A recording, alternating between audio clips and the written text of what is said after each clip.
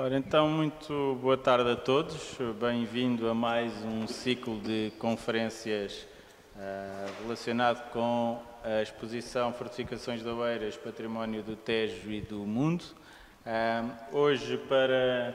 a última conferência desta primeira fase, uh, traz até nós a doutora Fátima Barros.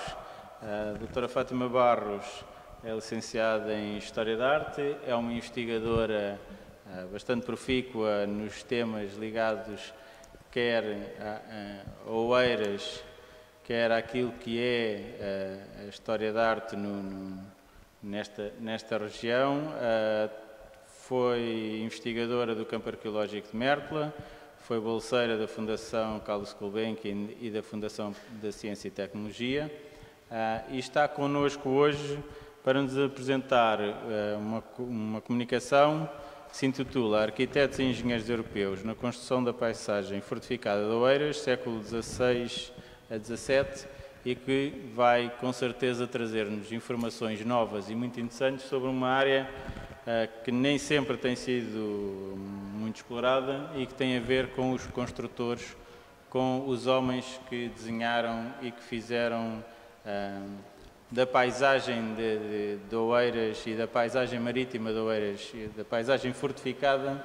aquilo que ela, que ela é hoje. Uh, e, portanto, muito obrigado por, por estar aqui conosco. Uh, Bem-vindos a todos. Obrigado a todos os que estão aqui e aos que estão lá em casa uh, por, por, estarem, por estarem a assistir. Doutora Fátima Barros, palavra. Obrigada, doutora Rui Godinho. Boa tarde a todos. Um, o, o, século XVI uh, ah, foi um período de grandes uh, transformações em todas as áreas do saber e, uh, nomeadamente, a arquitetura militar. Era preciso estar na posse das últimas novidades, portanto, da tecnologia de ponta, digamos assim, quando se lançava uma nova fortificação eh, ou quando se pretendia atualizar uma já existente. Eh, até porque a artilharia e ehm, as técnicas de minagem também eh, sofreram grandes progressos neste, neste século e, obviamente, a artilharia e a arquitetura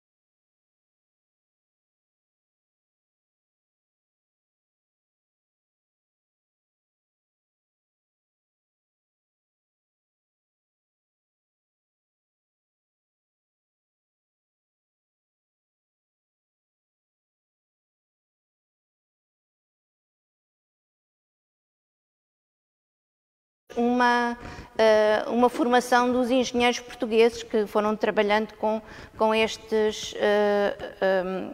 arquitetos uh, militares italianos. Porque nesta, nesta primeira fase é realmente em Itália que estavam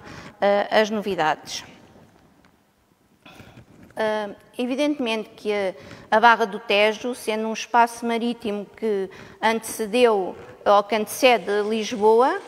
e que era o espaço que era preciso fortificar e defender para dificultar o acesso a Lisboa, é nesse palco que se vão cruzar todos esses arquitetos eh, militares e que vão dar o seu contributo, não só em projetos, mas também em pareceres, porque nesta altura um, um plano de uma fortificação, uh, portanto, não era decidido apenas uh, tendo em conta um projeto único, era preciso vários projetos, vários parceiros e, e, e depois, com base nessa diversidade, é que o, o, rei, que obviamente que tinha a última palavra, uh, decidia. Uh, eu era suposto só falar de, de arquitetos estrangeiros, mas não pude deixar de trazer aqui um arquiteto uh, português que naturalmente fez também fez essa viagem precisamente à Itália, a Roma, mais concretamente, embora tenha andado noutras, um, noutras cidades, mas principalmente em Roma, que é o Francisco uh, da Holanda. Ele viveu na, na corte uh, de Dom João III, porque o pai, António da Holanda, era iluminador uh, de, de origem neerlandesa. E Francisco de Holanda é era um promissor artista eh, e o, Dom João III vai-lhe proporcionar esta viagem eh, de estudo a, Roma eh, e, que vai marcar toda a sua obra. Francisco de Holanda vai ser um humanista que só recentemente, no fundo, está-se a dar atenção, mas que é um, é um artista diferente. É, a sua produção é principalmente em tratados e em livros e tem uma visão completamente inovadora de alguns temas que foram uh, retomados, uh, de, de, alguns temas uh, que, que, já vários artistas tinham tratado, mas que ele vai retomar numa, com uma, de uma maneira extremamente criativa e inovadora. Temos aqui uma, uma das obras, ele é um autorretrato dele, num dos livros, em que um,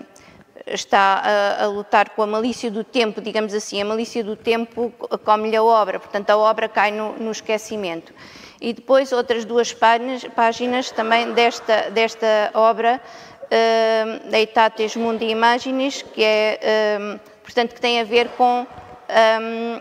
os vários dias de, uh, da criação do, do mundo, em que Deus criou o mundo. Mas, uh, retomando lá, o assunto que nos traz aqui, que é a arquitetura militar, portanto, o Francisco da Holanda vai nessa viagem com o objetivo, uh, uh, portanto, definido de ir desenhar e aprender e, adquirir conhecimentos relativos a, a edifícios militares. Uh, e para se poder depois construir aqui segundo uh, o modo, moda italiana, digamos assim. E, e, dessa, aliás, ele vai desenhar tão bem que numa das cidades ele vai ser preso e acusado de, uh, de espionagem. e claro que ele tinha relações, aliás, nessa, nessa viagem ele contacta com artistas de topo, nomeadamente Miguel Ângelo, mas, portanto, todas essas relações vão valer-lhe uh, e dar-lhe uma ajuda, porque ele vai ser liberto, uh, mas provavelmente muitos dos desenhos vão ficar, enfim, não os vai poder trazer e só alguns é que ele vai depois incluir nesse, nesse álbum, que é da, das Antigualhas de Itália. Mas mais tarde ele vai fazer uma nova, uma nova obra que é, eh, que é esta que estamos a ver, da fábrica que falece na cidade de Lisboa, à cidade de Lisboa, ehm, em que, que inclui ideias, projetos de edifícios, no fundo é o imaginário de uma capital de um Estado moderno, aquilo que era necessário a Lisboa para se equiparar a, um, uma, a um, uma, capital de, vanguarda e moderna como, como, como Itália. Nessa, nessa obra, ele tem aqui este, este, este esquema, este desenho, em que ele, portanto, já tem uma visão estratégica da defesa da Barra do Tejo. Portanto, vemos uh, numa, numa ponta aqui uh, São Julião e ele propõe já na cabeça seca, portanto, no sítio onde décadas mais tarde vai, vão, vai ser construído uh, o Forte do Bugio, ele já propõe a construção de, um, de um bastião, como era chamado então, um pequeno forte, e também outros do outro lado, da outra margem, que cruzassem fogos com, com a Torre do Belém e, e outro na, na Trafaria. Um, temos aqui o, o projeto uh, para a cabeça seca, com mais pormenor. Uh, em Itália estava muito, uh, era vulgar utilizar o, a pedra só para o embasamento e o resto das, das, dos muros em tijolo e em taipa, e, e, é isso mesmo que ele propõe, portanto, para a cabeça seca, um forte triangular que pudesse cruzar fogos com a fortaleza de, de São Julião. Portanto, isto é em 1570, muito antes de eh, se lançar uh, os alicerces uh, do Forte da Cabeça Seca, Bugio. Passando agora a, um, a, um, arquiteto italiano, portanto, o Filipe Tércio, que chegou mais tarde, já no tempo dos Filipes, a, a arquiteto mor, eh, ele vai ter, ele vai vir para, para Portugal ainda no tempo de Dom Sebastião, porque recebe um convite do embaixador, embaixador, português em Roma uh, e vai aceitar vir para, para, para Portugal. Ele, ele, já era, já tinha feito vários trabalhos, estuda em, em Pesaro, uh, arquitetura e matemática e já, já tinha, portanto, feito vários projetos mas quando ele vem, ele vem em 77 e logo em 78 ele vai acompanhar Dom Sebastião na Batalha de Alcácer Quibir e uh, fica cativo uh, em, em, Marrocos e é resgatado então, graças às, às diligências do cardeal Dom Henrique, é resgatado uh, e, e, portanto, passa uh, novamente a estar ao serviço, uh, neste caso de Portugal, e vai planear, vai ser encarregue de toda a defesa da Barra do Tejo neste momento de iminência da invasão castelhana a Portugal. Portanto, ele vai assinalar praticamente os mesmos locais que Francisco da Holanda assinalou antes, portanto, a Cabeça Seca, eh, a zona da Trafaria eh, e, e portanto, to todos estes pontos ele vai assinalar como importantes de colocar artilharia, mas não havia tempo para construções eh, de raiz, digamos assim, ou perenes, e portanto são tudo estruturas provisórias, trincheiras, plataformas de madeira, nas quais se coloca artilharia eh, para poder cruzar fogos com, com as fortalezas eh, da, da, outra, da margem norte. Eh, a questão é que antes da invasão castelhana, o Filipe Tércio acaba por fornecer os planos aos castelhanos, portanto, eles quando entram, obviamente, quando entram no Tejo, já sabem com o que contam e foi tudo muito mais facilitado para eles. Eh, assim, Filipe Tércio vai continuar a trabalhar para, para o Dom Filipe I e, uh, e, vai ter uma, uma ação também no, na, na, na, arquitetura civil e religiosa, por exemplo, vai, vai, ter a, vai construir ou fazer um projeto para a fachada de, de São Vicente de Fora, uh, vai ter a seu cargo um, a decoração do torreão uh, do Terreiro do Passo, Portanto, é um, um, um, arquiteto que tem muitas valências, não só eh, na arquitetura uh, militar, mas também uh, na arquitetura civil, como aliás todos estes arquitetos nesta primeira fase não era comum eles terem serem terem muitas enfim, ter muitas facetas e serem serem realmente enfim, ter muitas valências em, em muitas artes. Uh, chamo aqui só a, a importância para, para, este, para esta frase num, que ele escreve numa missiva. Ganhei algum crédito aqui em Portugal por fazer tantas obras sem ter que mudar coisa alguma, pequena ou grande, em relação àquilo que ordenara no início. E como neste reino não era hábito acertar assim com o que estava previsto, maravilharam-se. Ora bem, aqui está a importância do projeto. O projeto já era rigoroso, matemático. Quando se fazia um, um projeto, era isso que se pretendia implantar no, no terreno. Aliás, isto uh, vai ocasionar depois uh, uma certa evolução, ou seja, numa primeira fase, uh, as formas da arquitetura militar são extremamente geométricas, perfeitas, e depois irá haver uma segunda fase em que se dá mais atenção então à topografia, porque para além dessa forma perfeita, vai-se também tentar ocupar zonas uh, topográficas, portanto, em redor, que poderiam uh, causar alguma, uh, enfim, que poderia a partir daí sofrerem algum, algum ataque. e vamos ver precisamente essa questão com o, o, um outro arquiteto, o capitão Fratino, que é originário eh, da, da zona helvética, eh, na Suíça, portanto, e, e que, embora seja de origem nobre, pronto, as, as, suas propriedades foram herdadas pelo irmão mais velho e todos os outros irmãos tiveram que se,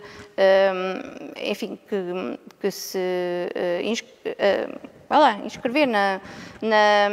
ou alistar na, na na, desculpem, Uh, no exército, uh, primeiro em, de França e depois ele até foi aprisionado e passa a trabalhar então para, para, Felipe, para, para o nosso Filipe I, digamos assim. ele vai ser muito afamado, vai ser conhecidíssimo, digamos, porque ele vai supervisionar quase todas as fortificações de todo o território em que o Filipe I tinha o seu domínio. Uh, nomeadamente em Gibraltar, e, e, por isso é que o Cervantes vai até mencioná-lo em duas das suas obras, numa delas o Dom Quixote, precisamente o, El Fratan. Ele, quando, quando a armada castelhana invade Portugal, vai ser Uh, um dos que vai fazer parte do, do Exército, é, ele é engenheiro-chefe do, do, Exército na, na, invasão de 1580 e prepara os cercos a vários uh, locais, portanto, Estremoz, Setúbal, São Julião, uh, e depois, mais tarde, vai fazer exatamente aquilo que eu, que eu há bocado referi, que é o alargamento eh, desta zona topográfica à volta de, de, São, de São Julião, portanto, todo aquele baluarte, aquela zona uh, virada ao mar, em que o São Julião passa a ter uma bateria baixa e uma bateria alta. Portanto, a, a bateria que existia vai passar a ser alta e existe uma, uma bateria mais baixa. Uh, mais uh, virada aos canais de navegação e uh, mais paralela também aos canais de navegação e, portanto, mais funcional em termos de, de defesa. E também há uma, uma zona que vai ser também fortificada do, lado, do lado oeste da, da fortaleza.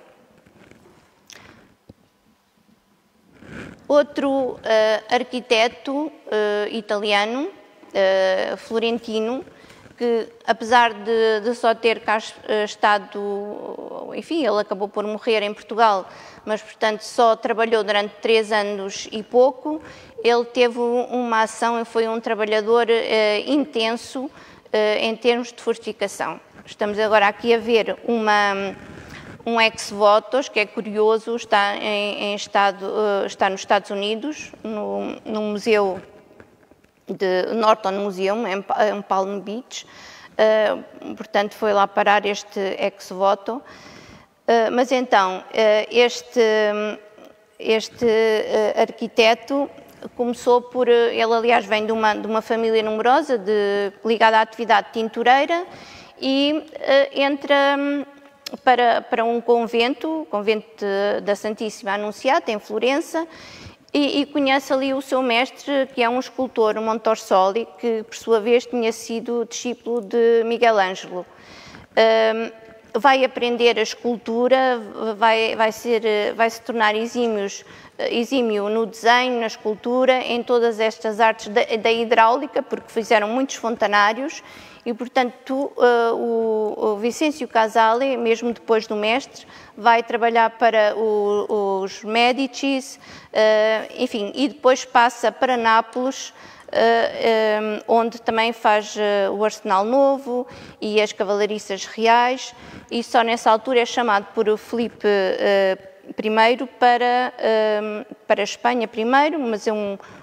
fica lá só um ano, e depois para Portugal para uh, reforçar então a, a defesa uh, de Lisboa, uh, a, a, defesa da Barra do Tejo. Estamos a ver um, um álbum que, que ficou dos desenhos dele, portanto uma compilação. O sobrinho dele, que é o Alexandre Casale, que também vai ser um, um arquiteto e que vem para Portugal com ele, é, é ele que compila grande parte destes destes eh, desenhos e que são uh, preciosíssimos documentos que nos ficam até para conhecer melhor o personagem. E um dos aspectos que é sempre realçado em relação a Vicêncio Casale é uh, o, vanguardismo dele em relação aos embutidos, às mesas de embutido, uh, as questões da, das mesas de mármore. Estamos a ver aqui uns desenhos que se virem o, o friso eh, é o que está aqui, é o friso de um dos desenhos e a parte central uh, do outro. Uh, como como uh, destacou Paulo Varela Gomes, estes desenhos são de considerável vanguardismo, porque só cerca de 20 anos depois se vulgarizaram em Itália. Portanto, nem sequer estamos a falar de Portugal, obviamente. Mas, portanto, estes arquitetos eram extremamente dotados e, por exemplo, uh, Vicêncio Casale vai desenhar também jardins. Há aqui dois, uh, duas alternativas para, para um jardim uh, para os condes de Porto Alegre, na, ali em Belém. Esta, supostamente, já, quer dizer, tudo isto já, já foi destruído. E vai também apresentar um projeto eh, em conjunto com, com, outros grandes arquitetos, Filipe Tércio, que era arquiteto-mor de Portugal, Tiburcio Spanocchi, arquiteto-geral de Espanha, Francisco Mora, arquiteto real, e é o projeto de Vicêncio Casale que vai ser escolhido para a cartucha uh. Portanto, hoje uh, a cartucha de Évora que nós vemos é uh, o projeto de Vicêncio Casale, com pequenas alterações, obviamente, depois com o tempo, mas eh, foi ele, portanto, o projeto eh, que fez o projeto eh, aprovado para a Cartucha de Évora. Estes arquitetos também tinham que trabalhar em condições às vezes muito difíceis e ele, Vicêncio Casal, é quem vai lançar as, os alicerces, as bases do bugio, vai lançar a obra do bugio, que era extremamente difícil, mas mesmo que não fosse só essa do bugio, que é, obviamente é em pleno Tejo, uh, todas as outras obras precisavam de maquinaria para transportar a pedra uh, e uh, tudo isso era desenhado e construído e, e, e, no caso do bugio, todas estas máquinas tinham que ser aparelhadas em barcas para se fazer o transporte da pedra, etc. Portanto, tudo isto era muito difícil. E não se pense que estes arquitetos eram extremamente bem pagos,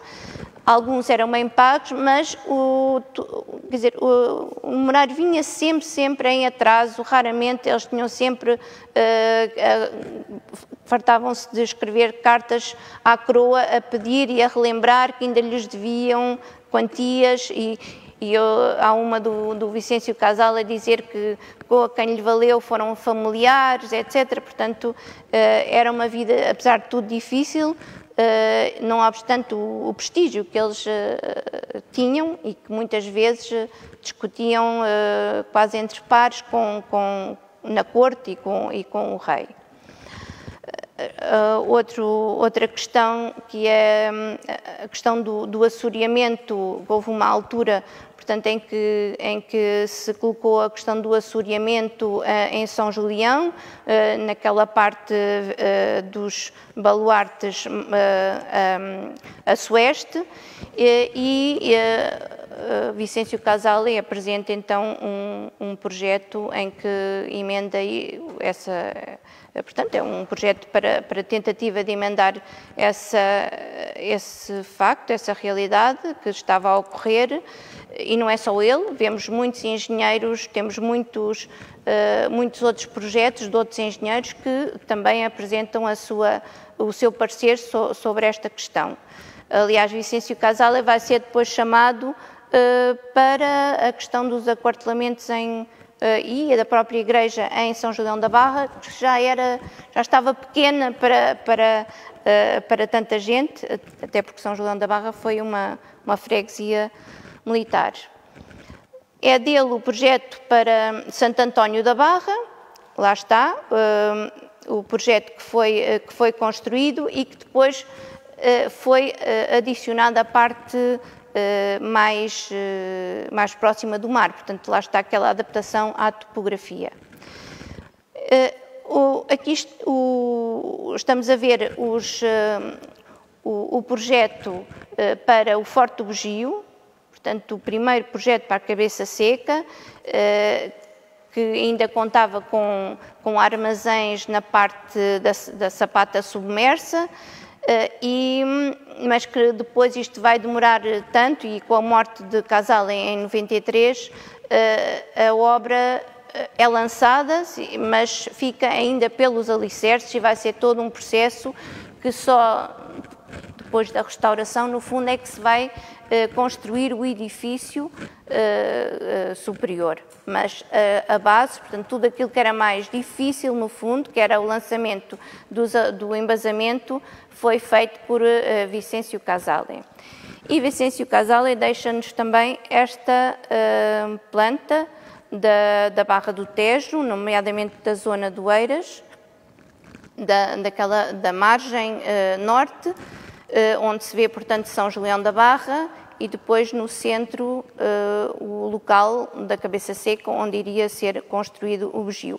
E vemos ali aquelas, aquelas medições, que é precisamente a medição das profundidades dos canais de navegação, tanto entre uh, São Gião e os cachopos, os, os diversos cachopos que são, uh, enfim, uns baixios que, que, dificultam a navegação e que, portanto, uh, definem os canais de navegação e era preciso que os navios, obviamente, os evitassem. Uh, Vicêncio Casale uh, vai, uh, vai, portanto, falecer em 1593 e vai deixar um grande vazio,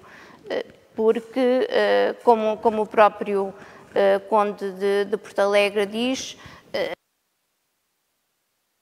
se encontrará um engenheiro com melhor uh, inteligência e, e, com tão, tão fácil, de fácil trato, e, e tão, e, e, porque ele realmente é um artista notável e que infelizmente vai falecer depois em Coimbra em, em 1593. Uh, Colocou-se depois a questão da sucessão da obra no, no, na cabeça seca, portanto, das obras do Bugio, e uh, a hipótese que é avançada é ficar o seu, o seu sobrinho, o sobrinho que tinha vindo com ele uh, de Itália e que, tinha, que era seu discípulo e que tinha aprendido com ele, ficar como, como continuador dessa obra, ou então Gaspar Ruiz, que apesar de ter eh, sido discípulo de Tibúrcio Spanocchi, que era, eh, portanto, o engenheiro-geral de Espanha, vai considerar Vicêncio Casale, depois de ter trabalhado aqui no Bugio, também como seu, como seu mestre. Uh, bom, depois de várias, enfim, vários pormenores, que agora não, não, não, vou estar a entrar neles, mas quem vai ficar vai ser o Gaspar Ruiz e o Alexandre Massai vai se dedicar mais à zona litoral do Alentejo e também ao Algarve. É ele o responsável por nós ficarmos, ainda termos no Museu da Cidade um, um manuscrito fantástico de, de todos estes projetos e, e também uh, o outro uh, do Algarve, em que ele teve que fazer o reconhecimento de todos os portos do Algarve e, e, nos deixou estas plantas espetaculares. Estamos aqui a ver de de, um, dos lados é entre cabos, portanto entre o Cabo Espichel e o Cabo da Roca, e ali a entrada da Barra, e o outro, uh, Sines, e, e trouxe aqui mais um, mais dois, aliás, de Lagos e, e, depois a zona de Portimão e, e Ferragudo. O tal Gaspar uh, Rodrigues, que, que era espanhol, e que vai estar eh, muito satisfeito por, com a sua obra, uh, porque que esta que estamos a ver, que vai ser levada a cabo, que é uma plataforma provisória. Isto porquê? Porque a obra, a obra do Forte do Bugio demorou tanto que realmente já se tornava premente colocar artilharia no local. E, e, e portanto, tentou-se criar uma plataforma provisória em madeira uh, um, uma, uma outra maneira de poder ao mesmo tempo que continuavam as obras, ter artilharia no local. E este foi um dos projetos, houve mais projetos, do qual não restam desenhos, mas sabe-se que houve mais projetos, e este foi uh, o projeto escolhido e foi montado no local, uh, e levava quatro, cinco, cinco peças de artilharia, e portanto as obras de, do embasamento eh, podiam continuar. O Gaspar Ruiz, eh, pronto, estava tão satisfeito que escreve então a Filipe I e diz, eh, pronto, como no final da, faz um relatório e no final da carta, como se vê à imagem do seu próprio exemplo, os engenheiros espanhóis eram suficientemente capazes, daí que fosse justo que fossem favorecidos, sendo necessário vossa majestade, não sendo necessário vossa majestade ir buscar estranhos entre aspas, portanto, estrangeiros. Mas uh, mal sabia ele que viria um, um, estrangeiro, digamos assim, um italiano, que se iria impor e, e realmente iriam entrar eh, muitas vezes em, em litígio e em confronto, uh, de tal maneira que depois foi necessário uh, o rei escrever uma, um decreto a dizer que um tinha que obedecer ao outro, que tinha mais eh, enfim, mas o outro também não lhe podia faltar ao respeito. Bom, portanto, e estamos a falar de Leonardo Torriano, que já vou falar de seguida, mas uh, o próximo uh, é uh, Tiburcio Spanocchi, que é um engenheiro-mor ou engenheiro-geral de, de, de, Espanha. Portanto, o Leonardo Torriano acaba por ceder ao, ao, ao Filipe Tércio e em Espanha existe, vai a ficar Tiburcio Spanocchi com esse cargo de engenheiro uh, mora. Uh, trago aqui alguns exemplos de, de, daquilo que ele, da sua produção. Uh, ele, na verdade, nós sabemos que ele andou eh, em todos os portos, eh, principalmente desde o norte até Lisboa, tinha feito representações desses portos e tudo isso se perdeu, pelo menos não se conhece, portanto, o paradeiro até hoje. Portanto, é pena, porque vê-se pela, pela qualidade do, destes desenhos que realmente são, são excepcionais a Tiburcio Spanocchi acaba por fazer quase um tirocínio em, em, na Sicília, portanto desenha todos aqueles portos da, da Sicília, um, mais ou menos à imagem de, de, Leonardo Torriano, que vai acabar por fazer isso, mas, mas em relação uh, às, às, Canárias. Uh, e, e porquê que eu trago aqui Tiburcio Spanocchi? Porque ele, para além desses desenhos das, uh, que se perderam, ele vai também propor uma planta para, para o, o, o Forte do Bugio. ele defende uma planta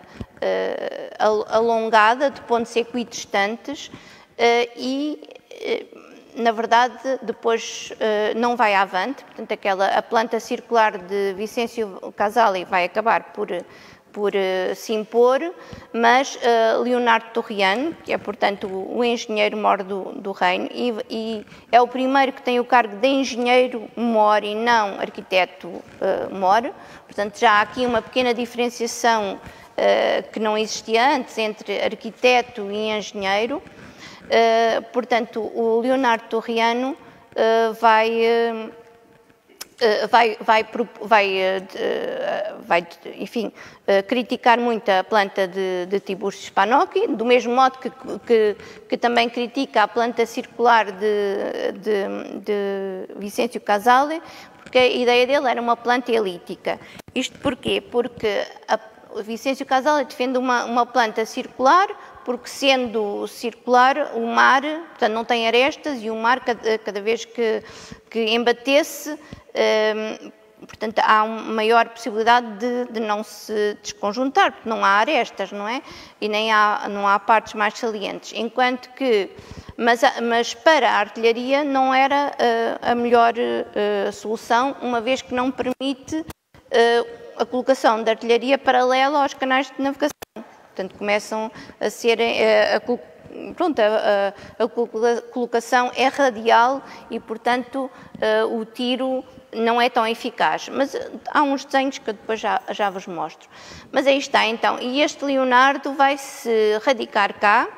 vai, aliás, eh, vai casar com uma senhora do Eiras eh, e acabará por construir aquilo que eu acho que, que é de, um, a casa dele, que é um, a, hoje a, a chamada Biblioteca Operária e que durante, eh, pelo menos até quase uh, meados do século XVIII, vai ficar nas mãos dos descendentes de Leonardo Torriano. Portanto, aqui são estes desenhos do, do, início do seu tirocínio, vá lá, em, nas Canárias, e esta é uma planta que ele faz em, por volta de 1602 das da Barra do Tejo e que é talvez a, a mais promenorizada de, das, das, representações desta entrada nesta, nesta altura. Vemos ali o, o bugio em construção,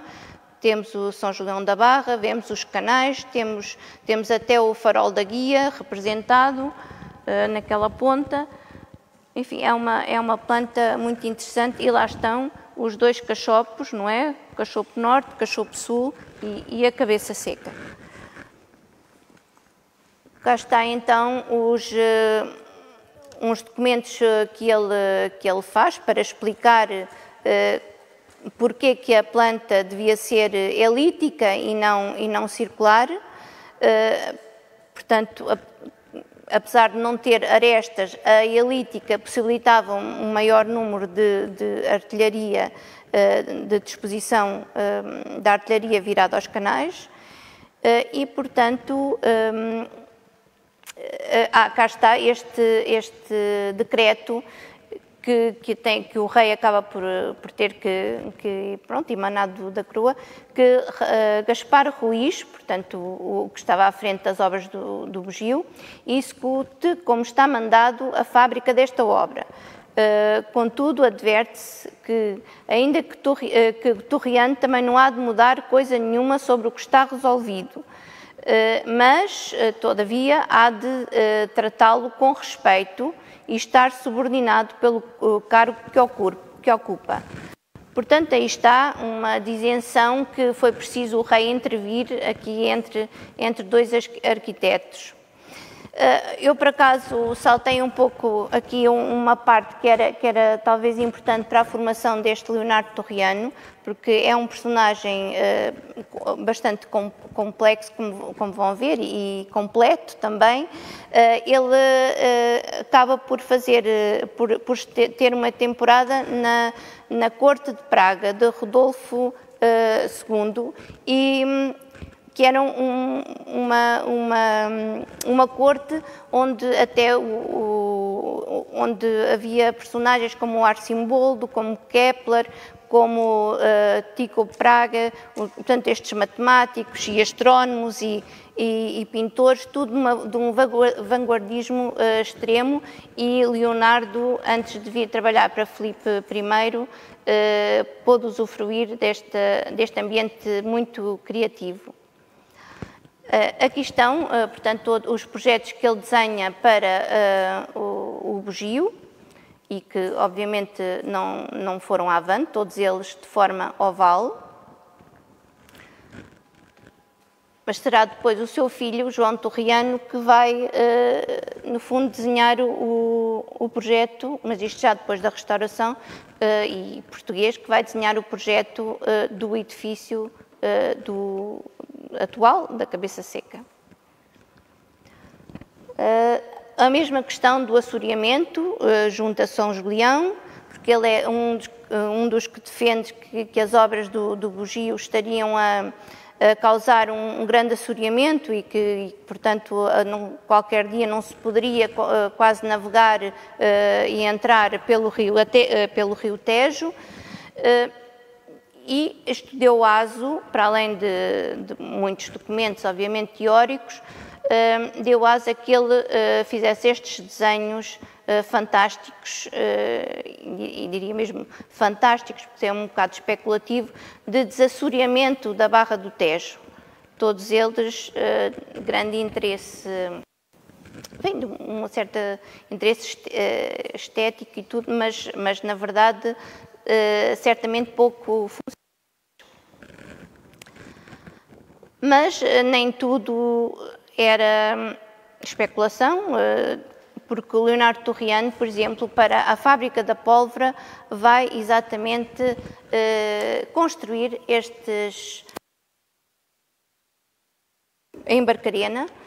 e, e, como se pode ver, o, o, projeto que ele faz, aliás, existe depois outro desenho, é respeita exatamente aquilo que ainda lá está e que, e que depois temos ali uma, uma reconstituição, eh, uma reconstituição desses, desses aparelhos, dessas máquinas de moer pólvora, pólvora e, que, eh, e depois temos ali o desenho que Leonardo Torriano desenhou na altura. Eh, e que ele diz, perto de Barcarena, que é um vale muito ameno, ordenei uma casa com quatro moinhos de água para fazer pólvora, que entre dia e noite uh, moe eh, cada um quatro quintais sem nenhum ruído de maços. Eh, só, só parece a pedra, portanto só se ouve a pedra, que moe porque as máquinas dos movimentos estão debaixo de terra, porque eh, evidentemente que o pavimento está, pronto, é, é, superior e portanto está ao nível superior e todos os engenhos estão, estão por baixo. Faz ainda aqui uh, uh, uma proposta de uma cordoaria, uh, que não vai avante, supõe-se que também para a Barcarena, e depois aqui nas ferrarias também propõe, porque ele diz há outra casa que chamam das ferrarias, de onde outros tempos se faziam corpos de armas, arcabuzes e mosquetes, mas uh, hoje em dia, pronto, eu, agora eu não, não, pus tudo, mas pronto, hoje em dia que, que já não, não estavam a funcionar. Bom, uh, e agora, uh, para terminar, e para não ser só italianos, temos aqui o exemplo de Nicolau de, de Langres, que vem de, de França, e uh, que vai fazer, uh, que vem, vem para Portugal uh, no, no contexto, enfim, já, já mais tardio, depois da, da restauração, e que e isto porque, porque há um, um, um certo acordos para que venham engenheiros franceses e também porque nesta altura houve uma, uma evolução e que os arquitetos franceses, franceses são os protagonistas, fran, franceses e, e, e, holandeses. E, portanto, Nicolau de Lange, que aceitou o convite também do, do embaixador uh, português em, em, Espanha, acaba por, uh, aceitou vir três anos e acaba por passar aqui 13 anos. Uh, trabalhou no Alentejo, fez realmente uma quantidade enorme de, de projetos. Vemos aqui um desenho em que ele se supõe-se que ele se representa a si próprio, mas, eh, mas, eh, mas, de qualquer modo representa um engenheiro a desenhar uma fortificação abaluartada com os seus escudeiros e, e discípulos e ajudantes e ajudante. Um, e uh, restou-nos dele eh, este álbum de desenhos que, que, portanto, todas as praças eh, de Portugal, de Portugal não, são não é de todas as praças, mas é principalmente da zona do Alentejo, mas que tem uma grande qualidade e é, é realmente um documento excepcional. E, e, e, ele vai ser, porquê? Porque ele ficou encarregue de, precisamente dessa zona do Alentejo, mas também desenha outros projetos uh, para outras zonas, como este de, de, de, São Julião da Barra, que nós vemos que uh, ocupa, portanto, representa ali São Julião da Barra, e depois temos toda uma estrutura que ocupa uh, a Praia da Torre e que vai, e a Praia do Moinho, e, e que vai uh, até à zona onde está uh, lá uh, os, a, NATO tem o seu, o seu quartel. Portanto, era um, um projeto enorme, megalómano e claro que não, não foi avante, mas de qualquer modo não deixa de ser interessante este, este projeto. Ele acaba por, no final de, da vida, ser eh, bastante infeliz, porque passa-se para o lado dos espanhóis e uh, vai atacar, vai participar no ataque à Vila Viçosa, isto no ano 1665, uh, e um, vai, vai falecer nesse, nesse, nesse ataque. Uh, por último, acho que pronto, chegamos aqui a, a um ciclo uh, diferente, uh, apesar de tudo, depois da restauração, em que, apesar de haver, de virem arquitetos, principalmente franceses, há um certo cuidado com a questão do, da nacionalidade. E precisamente porque estes arquitetos mudavam muitas vezes de lado. e e então, na questão do bugio, por exemplo, eh, há um decreto do Conselho de Guerra que um, determina que deveria ser português o engenheiro a nomear e que de alguma for de forma alguma, se, aliás está aqui um erro, uh, se confiasse a cidadão estrangeiro a disposição da planta do futuro forte da cabeça seca. Portanto, tal como uh, Francisco de Holanda tinha sido acusado de, de espionagem, uh, pronto, agora há aqui também este cuidado. E, e isto, por exemplo, quando uh, falecia um arquiteto, muitas vezes o espólio que eles continham de, de plantas que eles tinham, era, era uh, imediatamente guardado pelos funcionários da coroa porque não queriam que uh, passassem para os seus herdeiros. Portanto, eles ficavam uh, com aquele material e depois viam se alguma coisa poderia ser cedida ao, aos seus herdeiros. Por exemplo, Vicêncio Casale, quando, quando morre, eles chegam à conclusão que tudo o que ele tinha guardado não tinha identificação do local, já com essa preocupação de, de não, hum, eh, enfim, da espionagem, de, de, de, poder ser, hum, enfim, de segredos, no fundo, do, do Estado, dos segredos da fortificação. E pronto, e pronto, aí para acabar é só a alegoria hum, à, à arquitetura militar do César Ripa, do, de 1645. E pronto.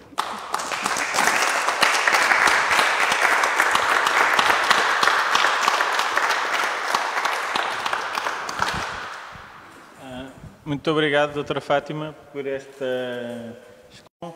com duas questões. Uh, com a origem destes, destes homens uh, e principalmente a seguir à união dinástica, uh, se o facto de, de, estarmos, digamos assim, dos, dos dois países, Portugal e Espanha, estarem unidos, se houve aqui alguma mudança entre espanhóis e, france, e, e italianos, em primeiro lugar, e já agora uma segunda questão que tinha a ver com os engenheiros portugueses. eles surgem quando há algum tipo de preocupação com a formação de homens portugueses, porque nós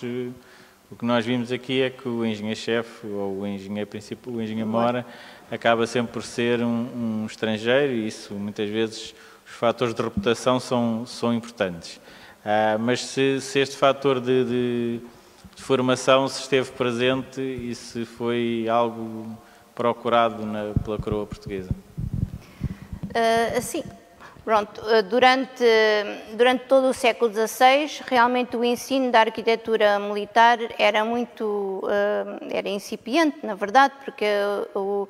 o ensino era feito de mestre para, para discípulo. Uh, e, e, só mais tarde, no início, no final mesmo, portanto ainda durante os Filipes, uh, é que uh, existe uma, vá lá, um, um género de uma aula eh, que, é, que é dada até por o Filipe Tércio e que há esse, esse cuidado. Mas a matemática era essencial e, portanto, nós só temos um ensino realmente mais estruturado a partir do século XVII com o Colégio de Santo Antão e com os jesuítas e a partir daí realmente nós vemos que chegamos então à, à época pombalina já com, com engenheiros militares, porque já há uma academia militar que, têm uma, uma formação uh, extremamente completa e coerente e estão uh, ao nível de qualquer outro uh, arquiteto estrangeiro. Mas nesta fase realmente em que os modelos, principalmente no século XVI, em que os modelos são, estão na, na Itália e que há toda essa também, apesar de haver tratados, não são muito esclarecedores e há, e há um, um, certo secretismo, na verdade, uh, tudo isto dificulta essa, essa aprendizagem dos, dos, arquitetos portugueses. Mas é evidente que, vindo uh, toda esta pleia de arquitetos italianos e, e, depois franceses, claro que ajudou a, a, esta, à formação dos, dos, dos arquitetos portugueses e, e, as novas gerações já são, já são extremamente competentes, por exemplo, logo a seguir à restauração temos o João Torriano, que, portanto, filho do Leonardo Torriano, mas ele, na, verdade, ele é, é lente de matemática na Universidade de Coimbra e uh, é, um, é um arquiteto extremamente competente, não só a nível militar, como uh, também a, a, nível, ele também uh, projeta igrejas e, e outros edifícios, Portanto, sim, a pouco e pouco, acho que a partir do século XVII podemos dizer que, que realmente há um, uma, uma, formação uh, dos arquitetos uh, portugueses. Não sei se respondi a tudo. É só a questão dos espanhóis e dos italianos e como é que essa passagem em 1580 se dá? Corre.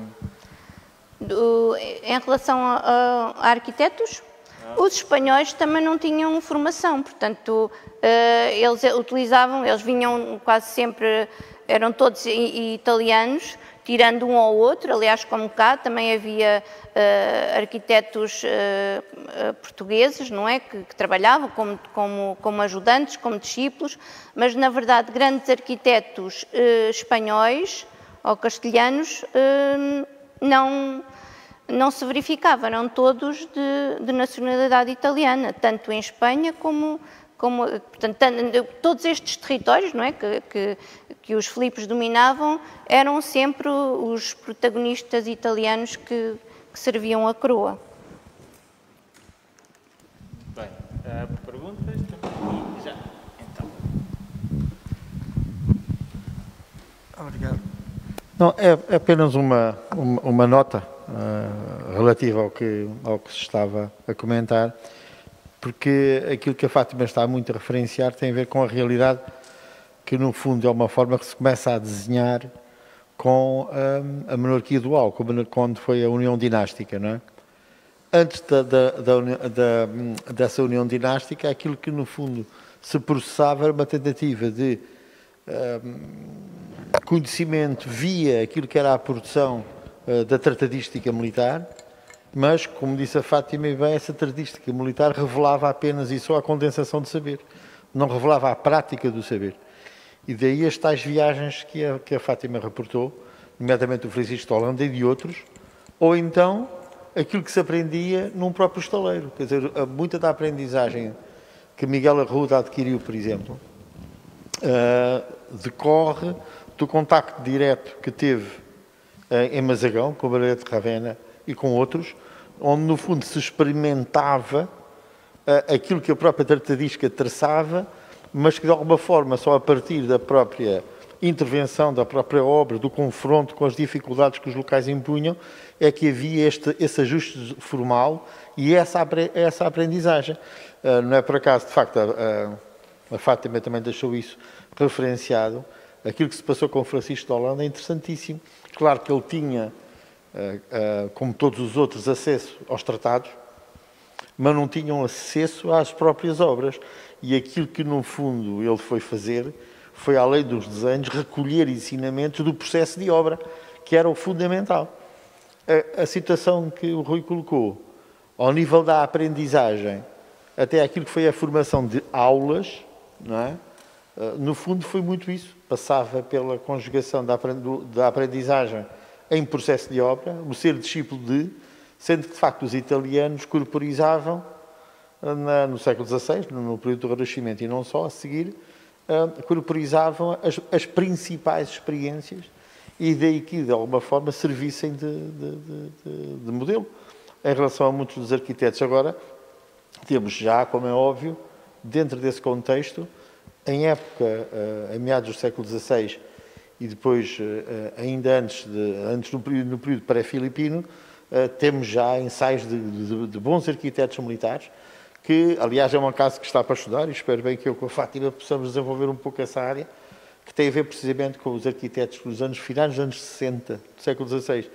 e primeiros anos da década de 70, vão tentar modernizar a face da fortificação abalartada em Portugal no período dito sebástico, no, reinado de Dom Sebastião, que é um trabalho que está por fazer precisamente, que decorre muito da questão que tu colocaste, que tem a ver precisamente com essa, com essa situação uh, da aprendizagem e da, e da reprodução de conhecimento.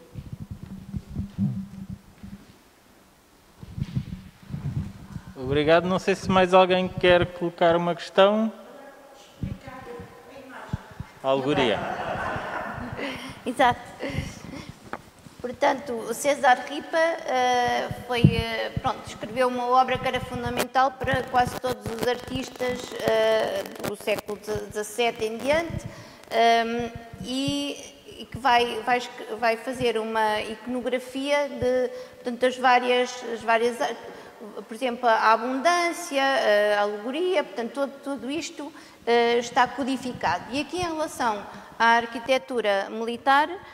portanto, é, é, geralmente é uma figura feminina que aparece e, neste caso, tem ao pescoço um, uma, uma corrente de ouro e depois um, um, o diamante uh, mais, mais forte e melhor, por, tal como uh, as, as fortalezas. Portanto, que era, era preciso, era, e além disso, era o mais. Eu até posso, posso ver aqui o, o texto dele, que é que ele diz. Um, que é a arte mais nobre, portanto, equivalente uh, à arte mais nobre, e, portanto, tem o diamante uh, maior e mais forte. Uh, depois, claro, tem uma planta abalortada, portanto, isto já é arquitetura moderna. Tem uma bússola do lado, na outra mão, por causa do, do terreno, onde tem que estudar bem o terreno onde vai ser implantado. Depois, no, embaixo, tem uma uma pá e uma enxada, porque obviamente é preciso uh, escavar as fundações, não é? E, e a, a, ave é uma, uma andorinha, porque é considerada a, a, ave construtora uh, por excelência, portanto, ela constrói os ninhos com todos os materiais que apanha, não é? E, daí esta, esta ligação simbólica à, à arquitetura militar.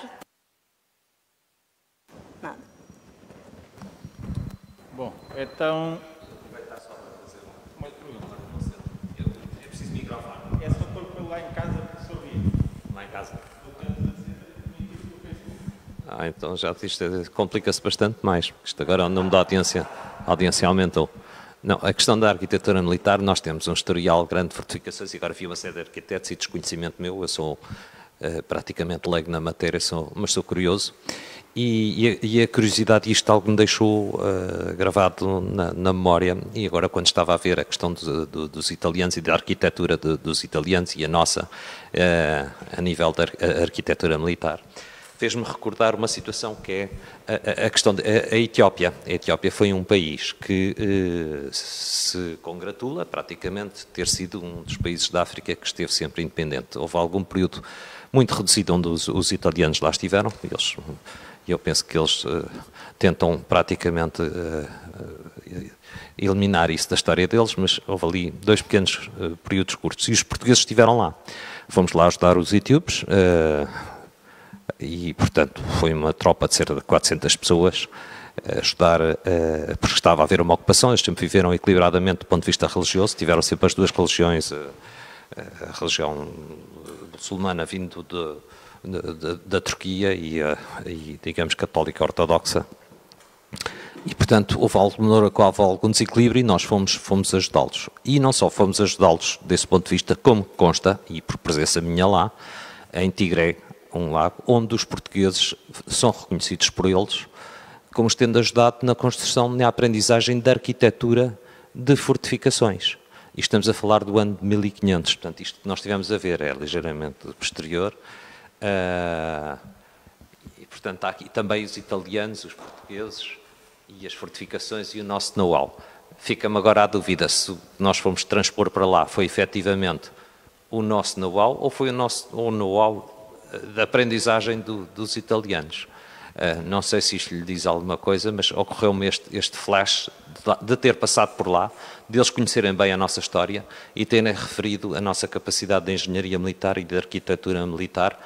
algo que provavelmente eles devem ter uns livros assim da, da, quarta classe, como nós tivemos há muitos anos, que eram sempre iguais e a história deve ser igual, não é? E, portanto, aparecem lá as referências aos portugueses e somos muito bem conceituados e, e pela ajuda que lhes demos exatamente por este, por este motivo. Não sei Sim. se consta, mas. Uh, bom, são tempos diferentes, não é? Uh, eu diria que, apesar de tudo, é, é antes da, da arquitetura um, abalortada propriamente dita, porque há ali um período de transição em que eu diria que nós fomos também de uh, uh, vanguardistas, digamos, porque, por exemplo, temos a Torre de Belém, em que é, em que é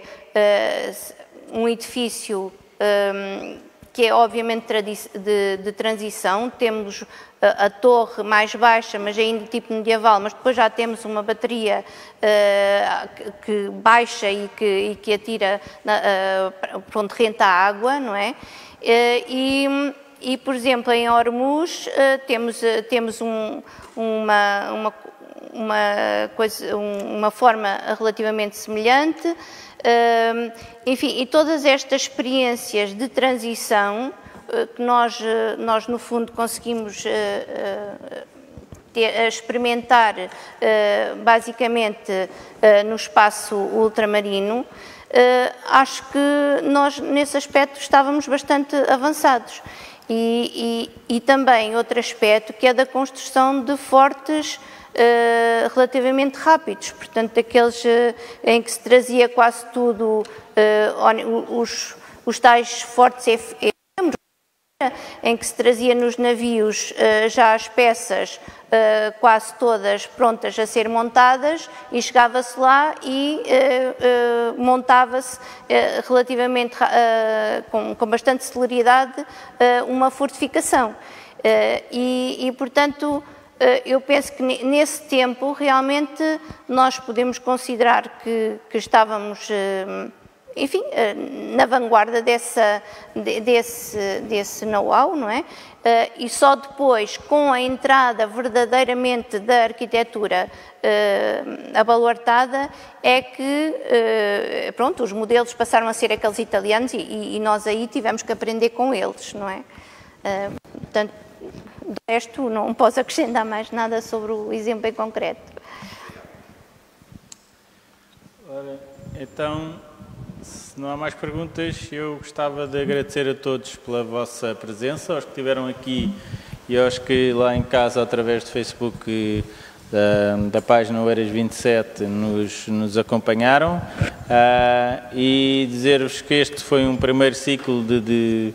de conversas uh, ligados àquilo que é a história das fortificações uh, em Oeiras e neste momento estamos a trabalhar para conseguir ter um segundo ciclo de, de, de, conversas ligadas a esta mesma exposição e que esperamos poder concretizar durante o mês de setembro e, portanto, não anunciando ainda as, as conversas todas, uh, temos, temos já uma, uma estrutura adiantada